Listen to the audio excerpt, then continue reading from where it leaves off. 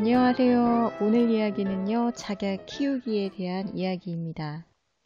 작약은 약용식물로도 알려져 있고 또 꽃이 예쁘기 때문에 관상용으로도 많이 키우는 식물인데요. 여기서는 작약이 어떤 환경에서 잘 자라고 또 물은 어떻게 주면 되는지, 가지치기는 어떻게 하면 되는지 등등 기본적인 작약 키우는 방법에 대해 이야기를 해보려고 합니다. 작약을 키울 때 잘 자라는 환경은요, 햇빛이 잘 들고 배수가 잘 되고 그리고 통풍이 잘 되는 장소에서 잘 자랍니다.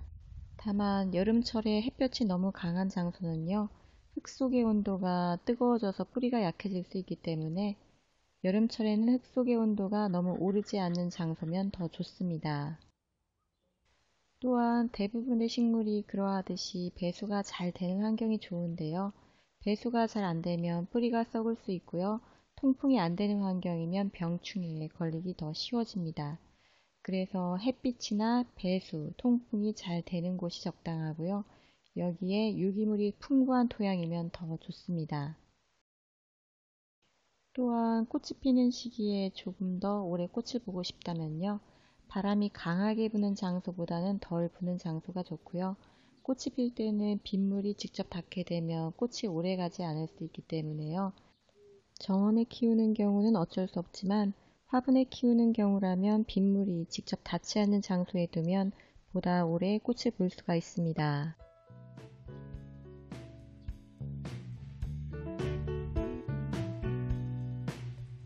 정원에 심어서 키우는 경우는 내리는 비만으로도 잘 자라기 때문에 특별한 경우가 아니라면 물을 줄 필요는 없고요. 작약이 성장하는 시기에 비가 너무 오지 않을 때라면 그런 때는 식물이 시들지 않도록 물을 한 번씩 주는 것이 좋습니다. 화분에 키우는 경우는 생육기 때는 겉흙이 마르면 물을 주면 되고요. 꽃이 피는 시기에는 꽃에 물이 닿지 않도록 꽃잎 부분은 피해서 물을 주는 것이 좋습니다.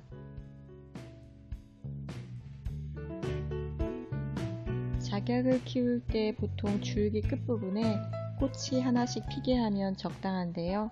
만약 줄기 한 개에 여러 개의 꽃봉오리가 붙은 경우에는 그 중에서 큰 봉오리만 남기고 옆에 붙은 작은 봉오리는 떼어내는 것이 좋습니다.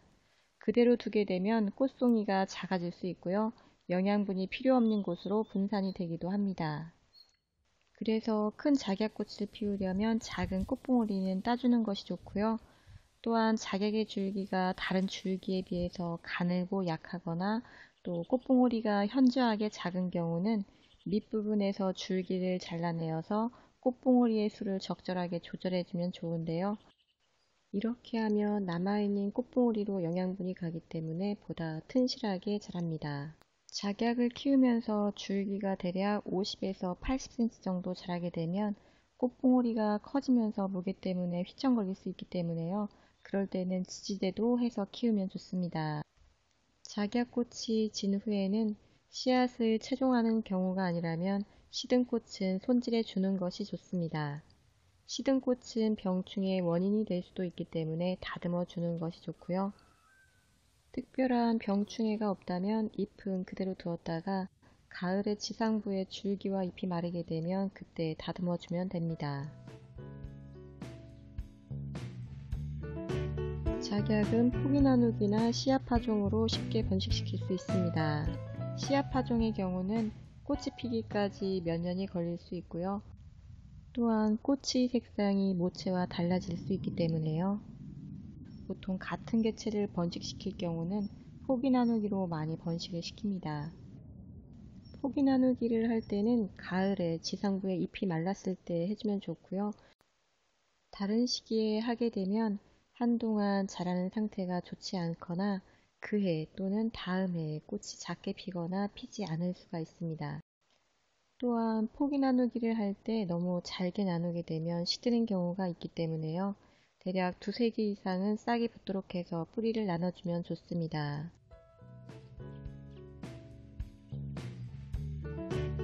작약을 키울 때 꽃을 보기 위해서는 적절한 양의 비료를 주는 것이 좋은데요.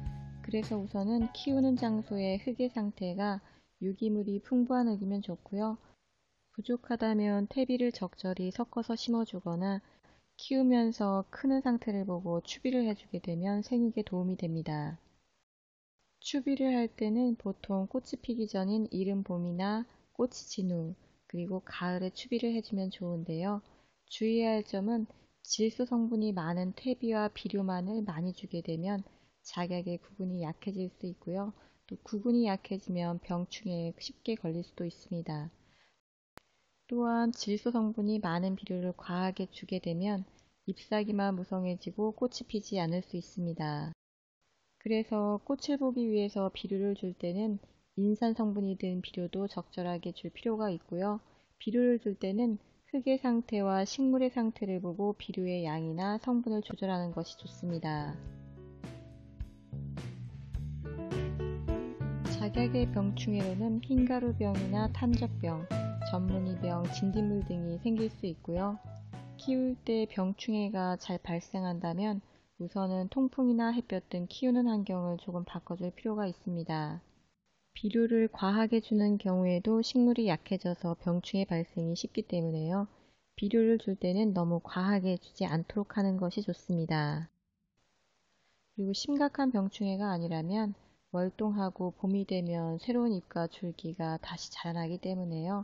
초기에 병충해가 발생했을 때 그 부분의 잎이나 줄기만 잘라내는 정도로 키워도 집에서 키우는 데는 크게 문제는 없습니다. 지금까지 작약 키우기에 대한 이야기였고요.